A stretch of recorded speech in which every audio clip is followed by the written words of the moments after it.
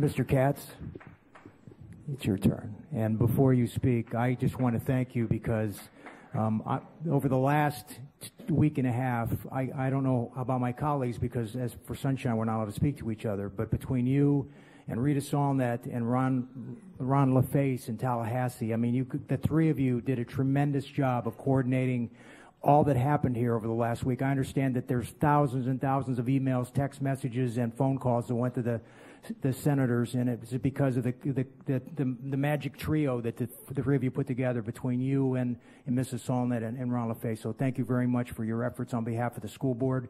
Uh, all that money, although some of that money is for teachers, a lot of it was for other other issues that's coming from that referendum, including security in our schools and of course our mental health. So we thank you very much for your efforts in putting all that together. Thank you.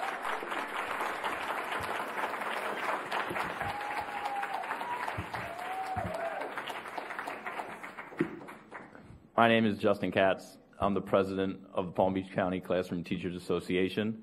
Um, the first thing I wanted to do tonight was thank the school board and your staff and the superintendent um, for supporting the referendum.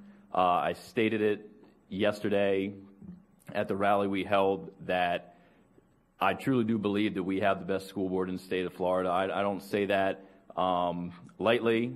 I don't say that because we enter negotiations tomorrow. Um,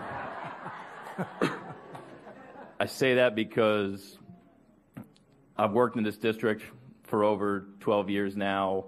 I've been coming to this room for the past six or seven years. Um, I've seen all of you operate, and it's it's just it, it's a beautiful board, a diverse board, a deliberative board, and a fair board. Um, you guys do an amazing job. So first, I just wanted to thank you for that.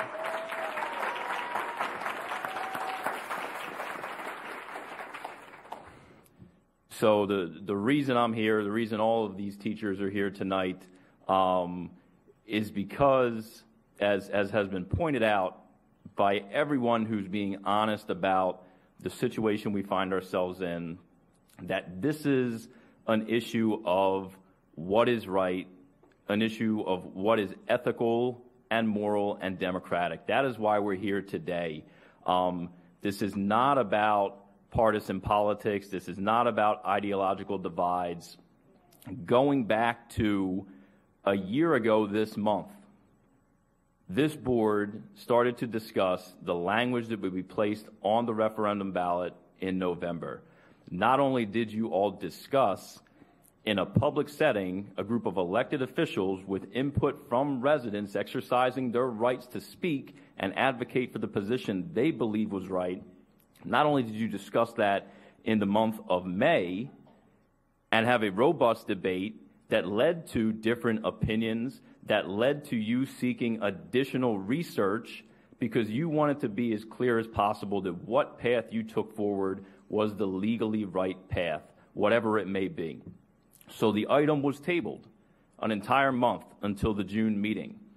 And when you all came back at the June meeting, again, a group of elected officials discussed and deliberated in a public meeting, had input from residents who had different opinions, both sides of this issue, and ultimately at the end, with that additional research and due diligence on your part, you made a decision how to word the ballot.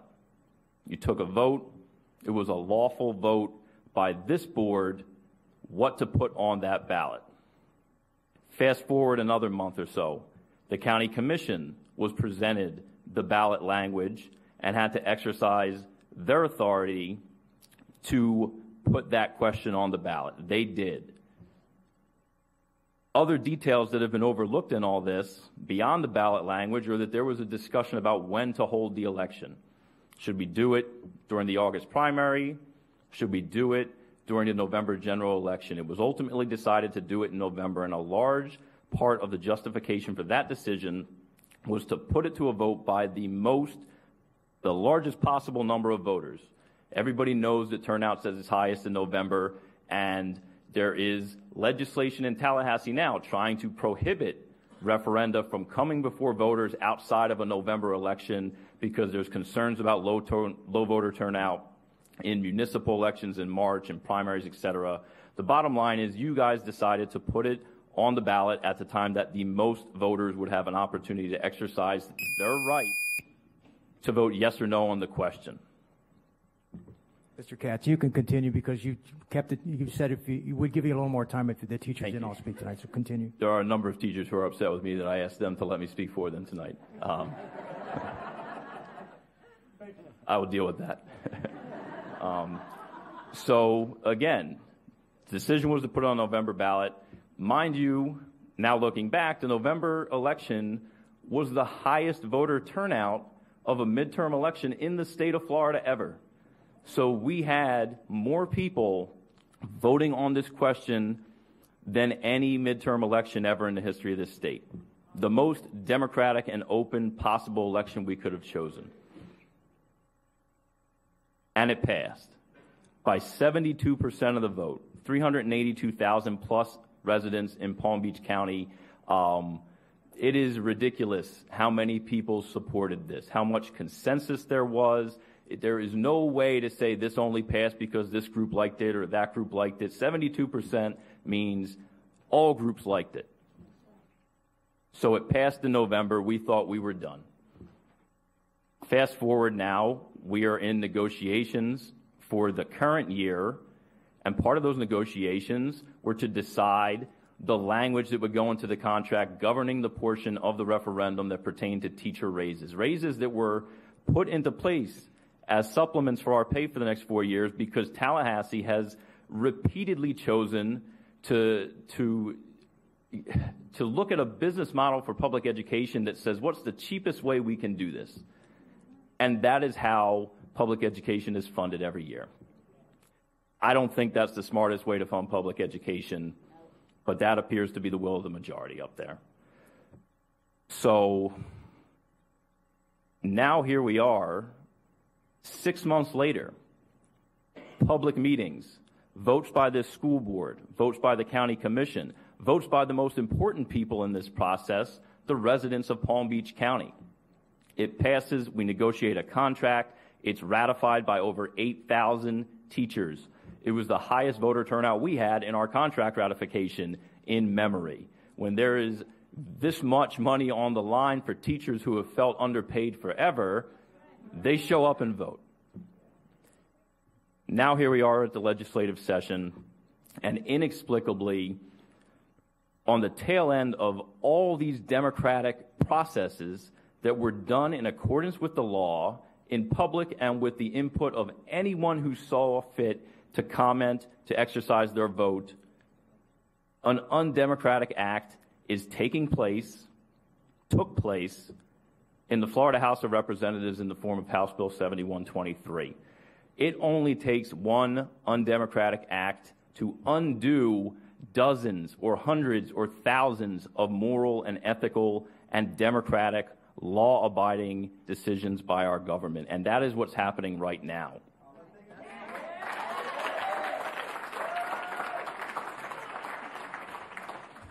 Nobody is even fighting with the legislature about the fact that there is a decision being made to change this rule moving forward. Whether you agree or disagree with it, rational people have accepted that if a majority votes for it and the governor signs for it, moving forward, that will be the law of the land. The issue I take, the issue I think all of you take, and the issue that hundreds of thousands of voters in Palm Beach County should take is that a legislative body that is upset with an election outcome cannot legislate it out of existence.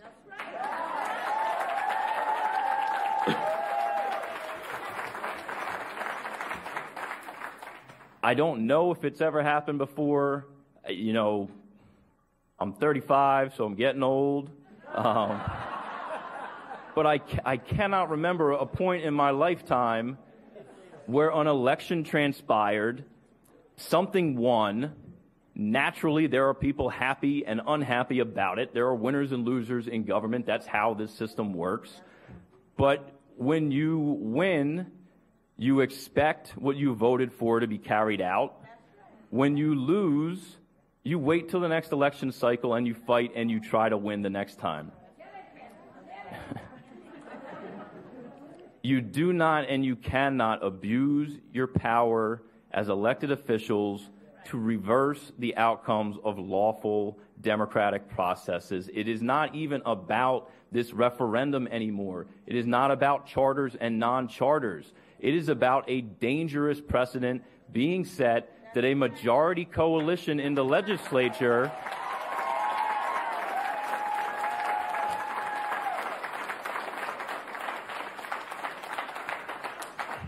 that a majority coalition in the legislature, any legislature at any level of government, can say, we don't like what the voters decided in an election, let's change that right now.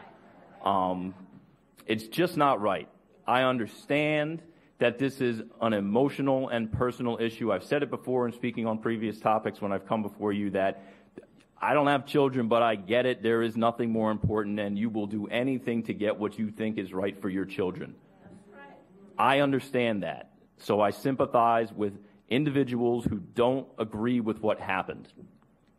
But our government does not govern based on how people feel when they lose an election. You, you just can't do it. I, am at a loss for words, um, and I'll, I'll try to wrap it up. Thank you.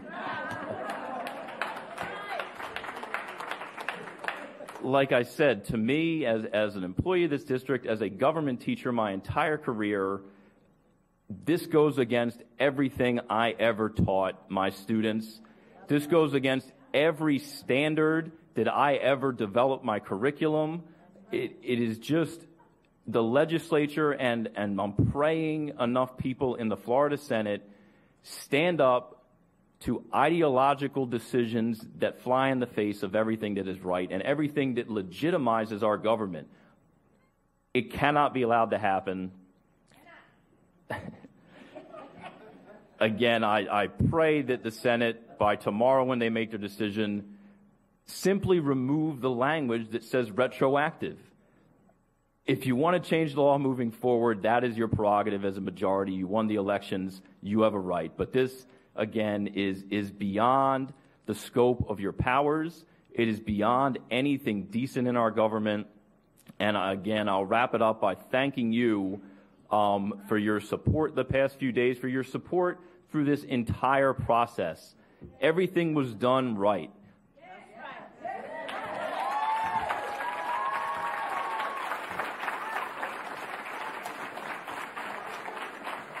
It's impossible to make everyone happy. It's impossible for someone or some group to win every time. And people have to accept that sometimes you win and sometimes you lose, and you live to fight another day in another election. And I, I, I pray that, that this message gets up to those legislators in Tallahassee that you are not just disrupting what we've done here, you are undermining democracy in Palm Beach County. I don't care what happened any other district in this state. Palm Beach County did its job, crossed its T's, dotted its I's, and that's it. So the Senate needs to do the right thing. They've got a, a day or a couple days left, depending on how this shakes up. I'm asking the Senate to do the right thing. And with that, thank you everyone for, for coming here tonight. Thank you everyone who came out yesterday. Um, a lot of people have complimented me tonight thank you for that. Uh, Justin, the, Justin, the teachers are very lucky to have you as their.